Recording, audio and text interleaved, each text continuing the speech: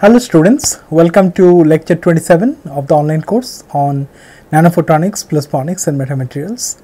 Today's lecture will be on tunable photonic metamaterial based devices.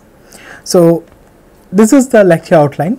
We'll first talk about introduction to reconfigurable metamaterials. Then we'll take some examples of uh, electro-optical metamaterials and phase change metamaterials. So first of all, we have seen metamaterials in our previous lectures and we have seen that metamaterials show promising and novel methods for manipulating optical waves in terahertz visible and infrared spectrum. Now these metamaterials can be of different types that we have seen previously double positive, single negative and uh, also they can give negative refractive index, negative uh, epsilon near 0, different effects can be obtained from metamaterials. Now, what are the applications? The applications are typically in the areas of uh, high resolution imaging, nonlinear optics, radiation control, holography, optical communication and so on.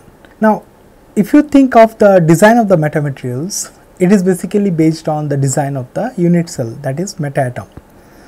Now, in most of the cases the practical applications becomes limited because once you fabricate this metamaterial you cannot change it.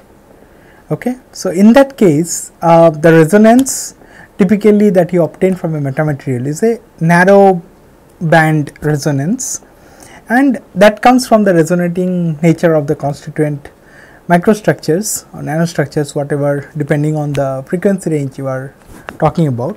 Now, what is important is to have a reconfigurable metamaterial. By reconfigurable it means that you can put some external stimuli and you should be in a position to change the resonance wavelength without going through the fabrication of the device again. So, that brings us to an interesting topic of uh, reconfigurable metamaterials. So, here is a schematic as you can show. So, at the bottom there is a metamaterial and then there is a kind of 2D material, it may be graphene or any other material, which is close to this particular metamaterial that you have fabricated. And there can be a voltage biasing on this uh, 2D material and that will change the surrounding medium permittivity of these meta atoms and that can give rise to some kind of dynamic effect which will change the response of this particular metamaterial at a given voltage. So, if you change the voltage the response will also change and that is how the same metamaterial will be able to provide you different different responses depending on the tuning of the bias voltage that you are applying.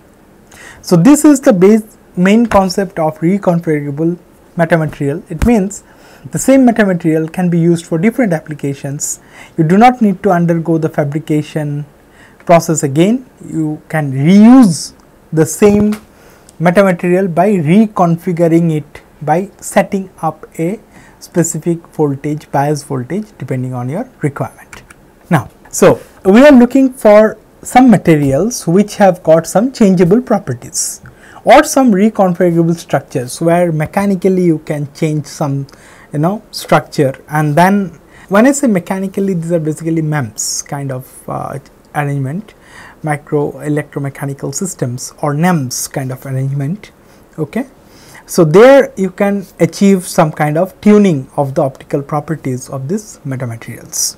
Now, here as I mentioned that one way is to use graphene or other 2D materials okay then you can use semiconductors you can use phase changing materials like vanadium dioxide or GST gallium tin tellurium okay you can use liquid crystals you can use different kind of MEMS structured metamaterials so these are all used for emerging applications in advanced optics and photonics and the operating range of frequencies can be tuned between terahertz to visible.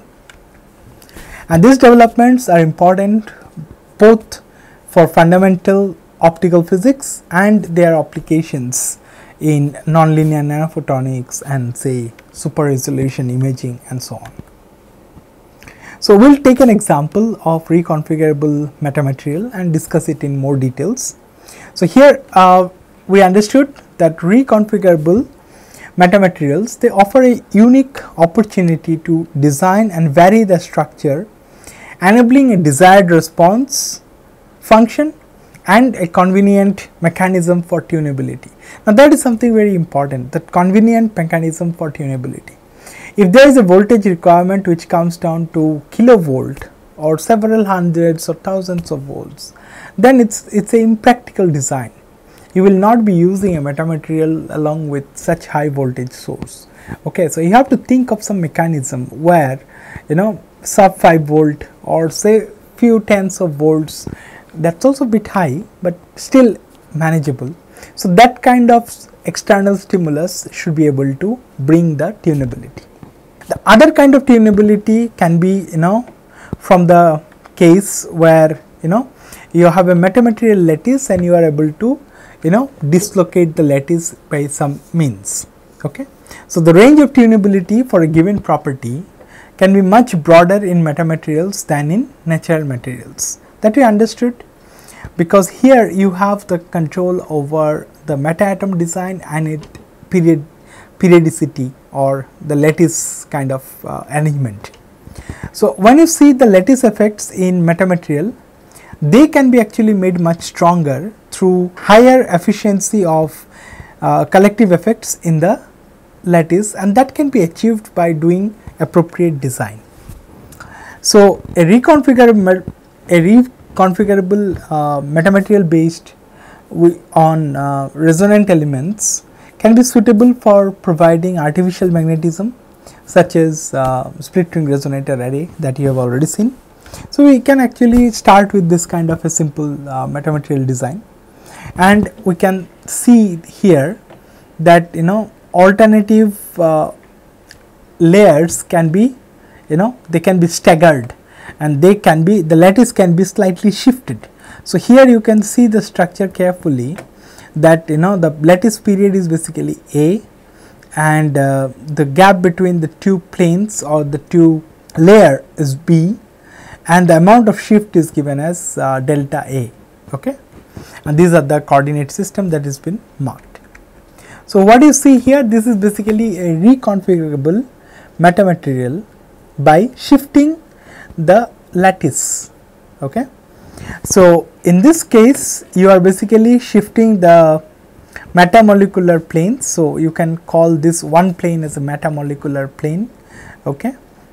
or simply you can call meta atom plane okay. They, they do not make much difference how do you call them, but what is main important thing here is that you are basically changing the lattice orientation and this is where metamaterial field becomes so cool because in natural materials the lattice positions are fixed you will not be able to alter them right but here you can actually design the meta atom on like uh, depending on your need and then you are also able to move their lattice positions to tune to fine tune their optical response. Now, what happens when uh, you do this? When, when the lattice positions are shifted, the effect of mutual coupling is basically enhanced and that enhances dramatically when you do the shift and you know bring them closer to each other in one way or the other okay and it can show you a very high efficiency lattice tuning. So, for sufficiently dense arrays the interaction between such elements differs consider considerably from a dipole approximation. So, here you can always think of multipoles which are interacting because the interaction becomes very strong and only dipole approximation will not be able to consider all the effects. So, there are multipolar um, multipole means you know quadrupole, octupole and so on they are also interacting with each other so, that actually gives you uh, the coupling and then there is a specific process that can be developed to calculate what is the effective permittivity of this material. Because when you find finally want to know the optical response, you need to find out what is the effective permittivity, effective permittivity of a particular material. Now, if all the characteristic dimensions such as lattice constants, element size are considered to be much smaller than the wavelength of light that is interacting with. A regular lattice of this kind of elements can be described by its effective permeability which is mu and that is also a function of the frequency. So, you can take it as 1 minus a omega square over omega square minus omega r square minus plus i gamma omega. So, here what is this uh, resonance frequency? Okay, this should be omega r. Okay. So, the resonance frequency omega r is basically omega naught epsilon sorry L sigma over L plus mu mu naught nu s square by 3 L to the power minus half. So, what are these terms? So, if you can see here that the resonance frequency of individual element okay, which is determined by its geometry that is where the your design comes into the picture their concentration as well as their arrangement. So, all these things will decide what is omega naught and L is the self inductance. Okay. S is the effective cross section of these elements, nu is the concentration and R is the radius of the loop. So, these are the structural parameters that goes into this formula to decide what is the resonance frequency. Okay.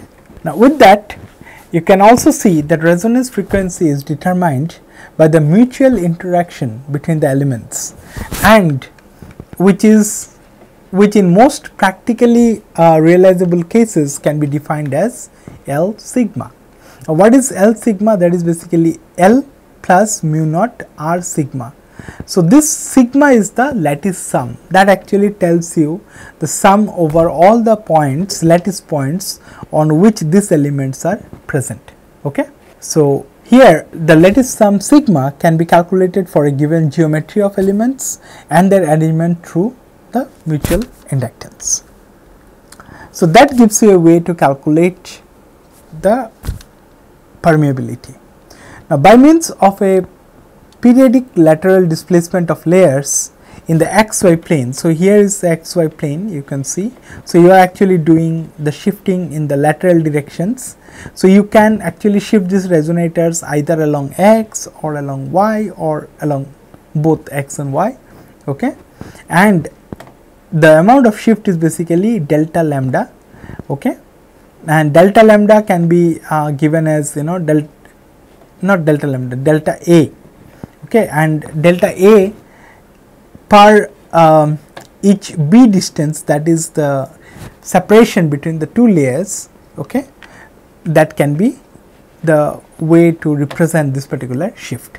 And when you see this and because of this shift if you plot the theoretical shift in the resonance frequency so the continuous line shows you know uh, the shift it says continuous shift and the solid um, so this one the dashed line the blue dashed line that you are seeing is basically for continuous uh, lattice shift strategy. So, you are just sliding it continuously and uh, the staggered one the solid one okay, is for the staggered uh, lattice shift that means you are basically shifting it in a staggered fashion. So, how it happens? So, when you actually move the mutual uh, the shifting will actually take the resonator away from the you know axis. So, initially they were all aligned you can assume and then you are sliding one of this intermediate layer. So, that actually moves out. Okay. So, this decreases the overall mutual inductance in the system and that will when L reduces there will be gradual increase in the resonant frequency. And that is what you are able to see that the resonant frequency which is normalized to omega naught is basically increasing as your shift is increasing. And then when the shift is uh, half of the lattice period okay it achieves the maximum value. And then it will again follow the same pattern because it will just be repeating okay so, clearly any further shift will be equivalent to you know um, the smaller shift values until the lattice exactly reproduces itself for a shift by A. That is clearly understood that any shift by an amount of A will actually get back to the original position right. So, you can only consider a shift up to 0.5 A. So, what you have seen here is that you know because of this kind of shift the resonance of the medium has actually moved across the single frequency and that will bring a dramatic change in the reflection and the transmission characteristics of this metamaterial. So, here you can see the calculated transmission curve the one in blue okay, and the reflection curve is in red. So, this is calculated through a metamaterial slab which is one wavelength thick and it is dependent on the lattice shift that is staggered at omega equals 0.96 omega naught. Okay. So, with uh, staggered lattice shift you can see the reflectance and transmittance can be tuned. Okay. So, this is something very very interesting as you can uh, clearly see that from 0 to 1 you can switch. So, what happens to transmission? The opposite thing opposite trend happens in reflection. So, the calculation here is uh, basically shown for 5 cross 1 cross 130 elements. So, that is the number of elements you have considered and you have also taken plane wave excitation okay and this gives you the magnetic field that is below this finite metamaterial slab and with the shift okay you can see the curves from left to right they correspond to a lattice shift of uh, 0 to 0.5 a so you can see you can dramatically shift the resonance frequency okay by doing this kind of shift so this was based on uh, numerical calculation or numerical simulation. You can also do experiments and see the same effect. So, these are basically the experimental uh, transmission spectrum of a waveguide with this kind of metamaterial slab uh, where you can tune the shift. So, this is the shift for 0, 0 0.2a, 0 0.3a, 0.4a and 0.5a okay and you can see how you are able to tune it okay. So, that is how you can do the same metamaterial can be reconfigured to resonate at a different resonance frequency. So, that makes it a reconfigurable metamaterial. Now, this kind of shifting of the lattice may be tricky when you are trying to do it in real time because uh, you know there, there has to be some kind of arrangement to move these uh, planes away and put them back or control that particular shift. So, that, that is also possible by some kind of uh, mechanical tuning of these shifts. There are other methods of uh, tuning as well which are more popular that is giving rise to electro-optical metamaterials. So, here we are basically looking at a terahertz metamaterial modulator which is fabricated on a semiconductor substrate okay. So, this is not the actual diagram this is just a depiction of a schematic okay. So, here uh, the tuning is controlled by injection and depletion of carriers in response to electrical bias okay. So, when you apply positive bias you can apply attract more electrons. So, that will be like injection of carriers so the conductivity changes that changes the permittivity okay, of the underlying semiconductor region and then you change the optical response rate. So, and if you apply the opposite bias there will be depletion of carriers and that affects the optical response. So, these are examples of active meta device which are capable of efficient real time control of radiation with electrical signals. Okay? And these were first designed for the terahertz part of the spectrum. So, here is an example of uh, metamaterial elements of period 50 micron and they are actually forming a 5 cross 5 okay, millimeter square planar array. Okay. So, overall dimension is 5 mm by 5 mm. Okay.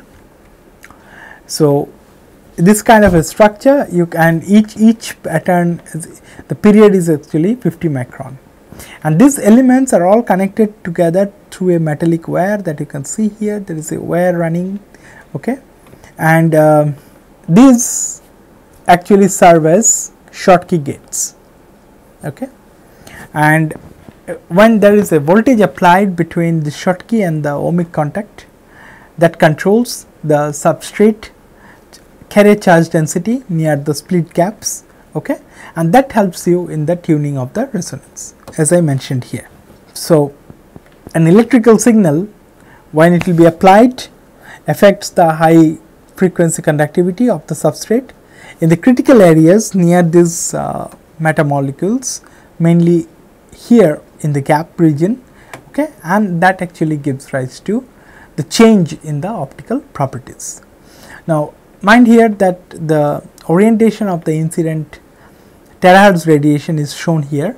So, the wave incident along this k vector then the magnetic field is polarized like this and the electric field is polarized in this particular direction. Now, here is the dimension and actual geometry of the meta atom that can be used for that terahertz metamaterial switch or modulator whatever way you can use it. So, here are the dimensions this side is 36 micron the gap is only 2 micron okay the width of this region is 10 micron and this width is 4 micron.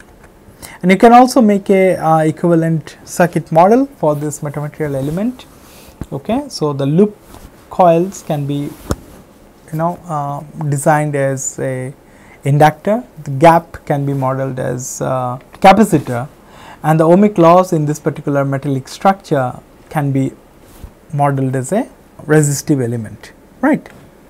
So this is how typically you do okay so and there is another one this one the dashed variable capacitor which is RD and this corresponds to the loss due to the substrate free carrier absorption within the split gap. And this is something can be tuned. Okay? And the structure has been designed to enable voltage control of the conductivity of the substrate at this split gaps. Okay? Thereby controlling the terahertz transmission right so if you look here these gaps play a very important role. Now the substrate, now if you look at the substrate, the substrate actually consists of 1 micron thick n-type gallium arsenide okay, which has got a free electron density of 1.9 into 10 to the power 16 per centimeter cube okay, and that is grown on a semi insulating that is SI semi insulating gallium arsenide wafer and this is done by molecular beam epitaxy method. So, we will look into this method towards the end of this course. Right now, you just know about this method that is being used to grow this. Okay. The ohmic contact is fabricated by electron beam deposition of 20 nanometer of nickel, 20 nanometer of germanium and 150 nanometer of gold in sequence followed by rapid thermal annealing at 350 degree centigrade for 1 minute in nitrogen atmosphere. So, this is the you know method of fabricating this particular uh, ohmic contact. The planar electric uh, resonator array is fabricated using conventional photolithography. So, that is how you actually made that uh, periodic patterns okay and then you have done electron beam deposition of 10 nanometer thick adhesion layer of titanium on the gallium arsenide substrate followed by 200 nanometer of gold. So, this gold is basically patterned using photolithography to give you the desired structure of the metamaterial that you are seeing here. Now, this is the experimental setup. Okay. So, the experimental configuration for the terahertz transmission measurement. So, this is your device that has been fabricated and this will be the Schottky contact, this will be the ohmic contact, you are applying a bias okay, across it and you know it was conducted for normal incidence where the terahertz uh, magnetic fields they were lying in plane. And here you can see that the electric field can be either you know perpendicular or parallel to the split gaps okay and the connecting wire. So there are two ways of having the electric field polarized. One can be perpendicular to the gap or parallel to the gap. Now let's assume a reverse bias gate voltage of 16 volt is applied to the device and the terahertz electric field is uh, polarized perpendicular to the connecting wires. Okay. So, if you remember the connecting wires, yeah, those are connecting the different meta um, atoms or meta molecules. Okay. So, the electric field is considered to be perpendicular to that. And here the time domain um, waveforms in black, these are actually showing the incident and the transmitted terahertz pulses. So, the wires which are connecting the individual electric resonators, they are actually providing electrical conductivity or electrical connectivity to the gate. Okay. The finite element method simulation that you have done it shows that the electric field is strongly concentrated at the split gap. So, this is where the electric field is mainly concentrated okay, in the gap okay. and there is no significant current flowing along the connecting wire. So, this is basically the plot of surface current density for that metamaterial element. So, this is the connecting wire again okay? And here you can see the current is basically flowing like this in one loop and then like this opposite direction in another loop. Okay? So what what whatever the current flowing here? That's very very minimal. Okay? So you can say that no significant surface current is flowing along this correct connecting metallic wires between the electric resonators at the resonance frequency of 0.72 terahertz now, another important thing is that the two inductive loops that you see here, they are oppositely wound. So, one current goes in this direction okay, and another current goes along this direction. Okay. So, they are basically oppositely wound. So, you will see no response magnetic response from this. So, you will only get a uh, net electric response from this kind of metamaterials. Now, for the voltage controlled uh, metamaterial device, so this is the device that could, as you can see, this is the Schottky contact, these are the connecting wires and these are the elements, okay. And at 16 volt reverse gate bias, okay, this particular plot shows you the transmission for the three different cases. Now, what are those three cases? The blue curve that you see here, it is basically the structure that is fabricated on N gallium arsenide substrate the red one is basically the same structure fabricated on that semi insulating gallium arsenide substrate. And then the black dashed curve that you see here okay it is basically the simulated version of the transmission curve. Now obviously in simulation you will see that all the you know uh, elements are perfectly of the same size, the periodicity is uniform that is where the resonance is much more sharper. You get a higher Q when you actually get a simulated transmission spectrum. But in the case of uh, experiment fabricated devices, the Q factor are like little uh, lower because the peaks are or the dips that you can see here are wider and the inset here shows the photograph of the individual resonating elements, the connecting wires and the contact pad which form the Schottky uh, gate of this metamaterial device. Now, after that you can also calculate what is the real part of the dielectric constant of that particular device. So, for the case of N gallium arsenide this is the blue curve okay and silicon uh, the red one is basically the um, semi insulating uh, gallium arsenide okay? The simulation part is not shown here. So how does this gives us uh, tuning that let us see by applying different voltage biases? So those are the cases where you have seen what happens at 16 volt of reverse biasing. So now let us apply different different uh, bias voltages and measure the transmission as well as uh, the uh, dielectric permittivity. So, here is a figure that shows the switching performance of the active terahertz metamaterial uh, device as a function of gate bias voltage. So, here the polarization of the terahertz electric field is considered to be uh, perpendicular to the connecting wires. So, these are the connecting wires and these are the electric field polarization direction so, this figure shows you the transmission which is frequency dependent transmission um, at different voltage levels. So, these are the different voltage levels and if you see why it has changed you can actually see that you know this is how the permittivity changes. So, at certain frequency range you can also see that this metamaterial is giving behaving like a metal the real part of the dielectric becomes negative. Okay? And those are the cases where the transmission significantly drops because metal will be mostly reflective. In other cases it does go well. Okay?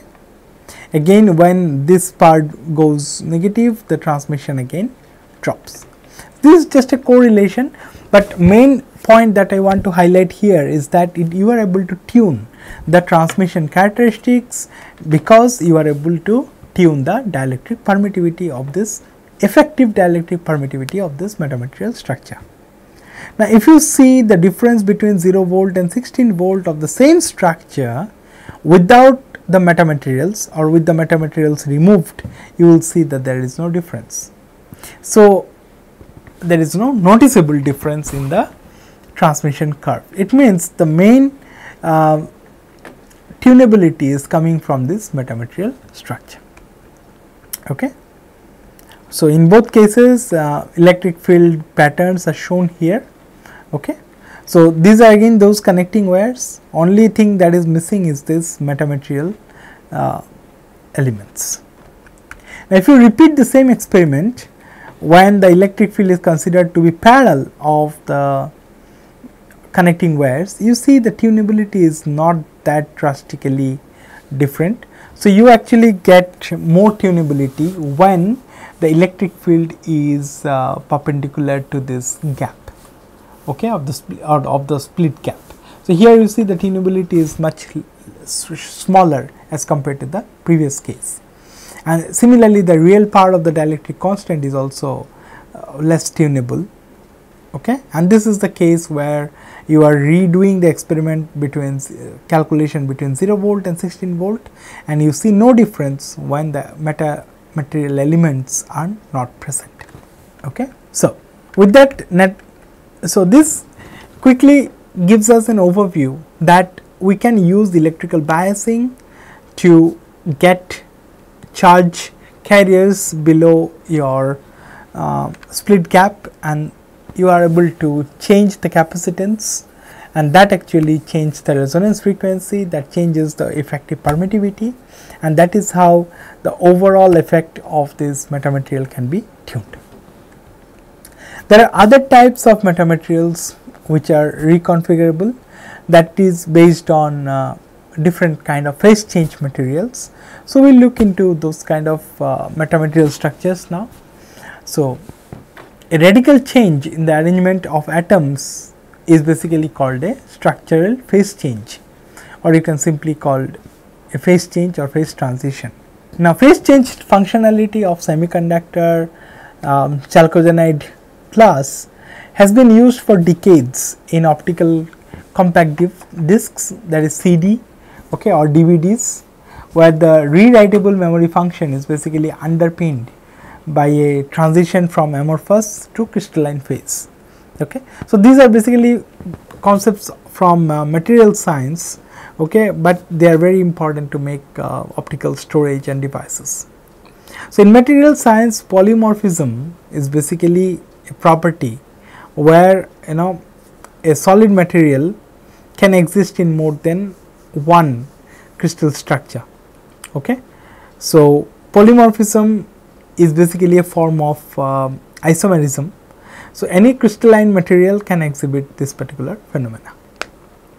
So, when we discuss about phase change functionality in uh, polymorphic materials, okay, that can give a way to achieve nanoscale optical and plasmonic switching devices that can be fast and they will require very less energy to activate.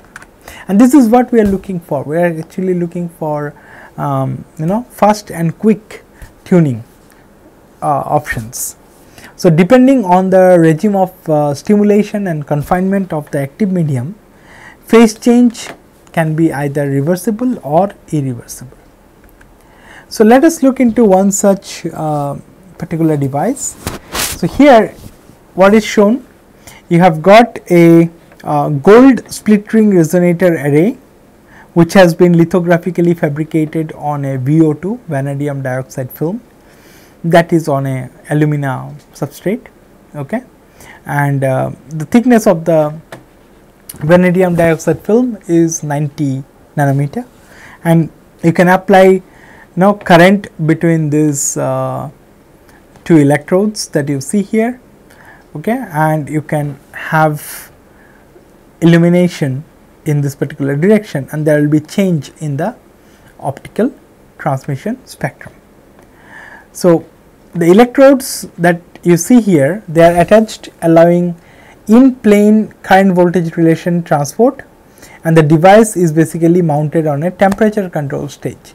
Now, VO2 will change its phase from a insulating to metal depending on the temperature. So, the transition temperature is typically 68 degrees that we will see quickly. Okay. So, here we understand that VO2 is basically a correlated electron material that exhibits an insulator to metal phase transition and this can be activated thermally, electrically or optically. So, what happens when it is in insulating state phase? Um, so, this is the case when you know the VO2 is an insulator. So, it is typically the low temperature phase of VO2. You see the real part is uh, the dielectric constants real part is positive and the imaginary part is negative sorry is 0.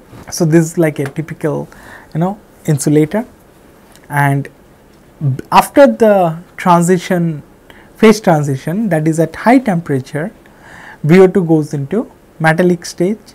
So, there you can see that the real part is basically negative. So, it behaves like metal and it is also a lossy metal. So, there is a loss associated. So, the same material can behave like an insulator before the transition phase transition temperature and it can behave like a metal beyond the phase transition temperature. So, VO2 basically shows a phase transition of a percolative nature in which 5 to 10 nanometer uh, metallic puddles emerge and grow in the insulating host. Okay. So, this is how it is like you know this is how the phase transition take place uh, it has attracted considerable attention as an active medium for hybrid uh, metamaterial structures. Hybridizing uh, vanadium dioxide with metamaterial shows around 20 percent temperature activated tuning in the transmission spectrum within the terahertz range that is pretty good 20 percent tuning capability and a form of electrically activated memory function and uh, persistent frequency tuning of a metamaterial can be obtained which allows lasting modification of its response by using uh, simultaneous stimulus have also been demonstrated. So, all these demonstration of hybrid VO2 meta devices they have been done in the terahertz range. So, this insulated to metal transition that happens in VO2 is highly hysteretic and exhibits memory effects. So, you can see here that um, this is the temperature scale and this is the DC resistance scale. Okay. So, this shows the simultaneous DC transport and uh, far infrared probing. So, this is also giving you the split ring resonator resonance frequency okay, of this uh, of a metamaterial where VO2 has been used as a you know supporting material and that goes through the phase transition. So, this is the axis where uh, temperature is uh, increasing. So, you can start like this and you can go increase increase and this this particular vertical line the dashed line that you see here this is basically the phase transition point. So, beyond which VO2 will change from insulated to metal. Okay. So, this phase transition also affects the dielectric properties of the VO2 in a specific way. So, uh, at the onset of this transition electronic correlations acting in concert with the spatial inhomogeneity of VO2 create a rapidly divergent permittivity. So, here you see the DC resistance significantly you know drops okay and this is how it creates a kind of uh, hysteresis because when you come back from this point it does not follow the same path rather it, it, it follows like this and then it goes back here okay. So, this is the hysteresis. So, this the red one is the heating cycle and blue one is the cooling cycle. So, along the red line it will when you heat it this is how the DC conductive or DC resistance will change. These circles are basically giving you the resonance frequency you can see here terahertz resonance. The red circles are for heating cycle, blue circles are for cooling cycles okay and this is the region where there is some limit of optical detection because of the fundamental limitations. So, you do not have any other detection below this area that is why there are no measurement taken below this. But here what what you can see that you know when the conduct when the resistance significantly drops okay this there will be change in the VO2 permittivity okay. So, this when VO2 permittivity increases this increases the capacitance and when the capacitance will uh, increase the resonance frequency will decrease. So, this is the reason why you are seeing the drop in the resonance frequency. So, this is the frequency scale the fre resonance frequency drops when this transition progresses. Now, here is another um, plot which also tells you about the heating cycle. Okay. So, at room temperature you can see this is basically the okay this is the resonance frequency okay and this is the transmission graph so, here you can see that uh, at room temperature that is the black curve 300.93 Kelvin you see the black curve it has got a um, dip here. So, the resonance is around 1.65 terahertz okay and as you keep on increasing the temperature of the VO2 okay. So, in that case what is happening you are increasing the temperature. So, you are moving along the heating line and you see the resonance frequency is reducing right and this is what you see here. So, as the dielectric constant of the VO2 increases with temperature the resonance frequency redshifts. Okay. The frequency decreases means wavelength will go towards larger wavelength. So, it is called a redshift and the amount of redshift is as much as 20 percent and which is pretty pretty good. Okay. So, we show that this metamaterial response tuning persists when accomplished via short current pulses. So, you can send short current pulses and that will do this kind of temperature heating. Uh, so, VO, VO2 heating will take place and you can actually change the transmission spectrum. So, here as I mentioned we have shown the heating cycle, but it was actually done uh, by performing the experiment over the complete temperature cycle that is you start with 300 you go to 350 and then you go back to 300 again okay with a temperature stage on which the sample the VO2 sample along with that metamaterial was mounted. So, here the main objective was to tell you that there are ways of making your metamaterial devices actively tunable.